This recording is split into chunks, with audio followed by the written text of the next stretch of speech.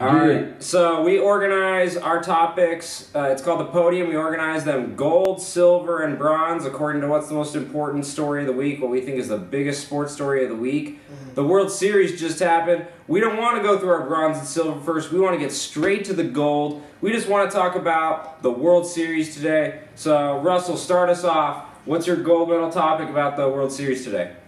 Uh, for me, it's basically well. Let me first off start off by saying we've had two amazing World Series in a row. If you think of 2016 yeah. with the Cleveland Indians and the Chicago Cubs, seven game series went down the wire, extra innings. And then this year, 2017, two equal match teams, the Astros and the Dodgers going to seven games. First, let's start by talking about why the Astros won. And so if you break it down by why the Astros won, and you look at their their starting rotation, right? You got Justin Verlander, pitched well, not since he came to the Astros at the trade deadline, was 11 and 0 through the playoffs. Mm-hmm. Um, didn't get a win in the World Series, but it was because one Justin Verlander pitched so well that that you know, keep the the Astros bullpen fresh. Mm-hmm. Uh, if you look at the other side, the Dodgers bullpen wasn't as fresh as they probably could have been down the stretch. Right. Uh, so you see how those different sides uh, contract a little bit. And then the star showed up for the Astros. Yes. You think about George Springer, uh, 379, five homers, seven RBIs in the World Series, World Series MVP, of course. Carlos Correa 276 with two homers, five RBIs.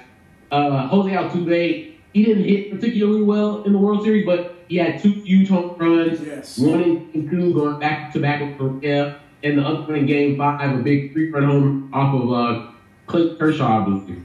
So. Um, I mean, Alex Bregman had an excellent defensive playoff. Yeah, so many highlights. So um, their star showed up, and to me, I think that's a key reason that the Astros won the World Series. Yes. Uh, on the opposite side of that, if you look at the Dodgers, uh, their stars didn't show up. Nope. Uh, if you think about Clayton Kershaw, he might be the him and Kenley Jansen were, you know, great as they always are.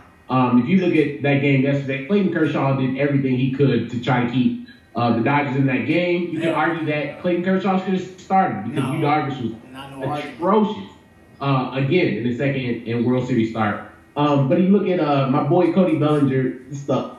He did that was not the, uh, the greatest series to him. 143, a homer, and uh, a World Series record 17 strikeouts. That's not going to be done. Yeah. Uh, Justin Turner you could tell that the Astros made it their mission to not let Justin Turner beat them. Yep. Hit 160 for the homer. Yep. Uh, Corey Seager coming back off of his injury. Started the series well, but cooled off later in the series, 222. And then Yasiel Puig, who had a really good playoff, um, went cold the wrong time, 143, uh, 148 with two homers. So um, their stars didn't play as well as the Astros stars. And to me, when you break, when the series is as evenly matched as this one was, yeah. it's gonna be something like whose stars show up. Right. And the Astros stars showed up when when it mattered the most, and yeah. Yu know they ended up winning the series. So true.